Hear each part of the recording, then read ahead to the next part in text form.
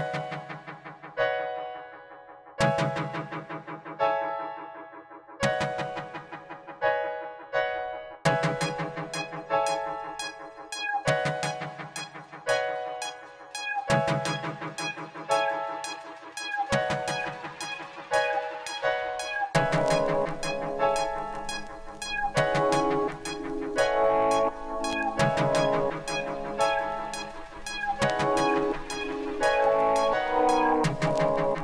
Human life is meant for understanding Tadvigyan.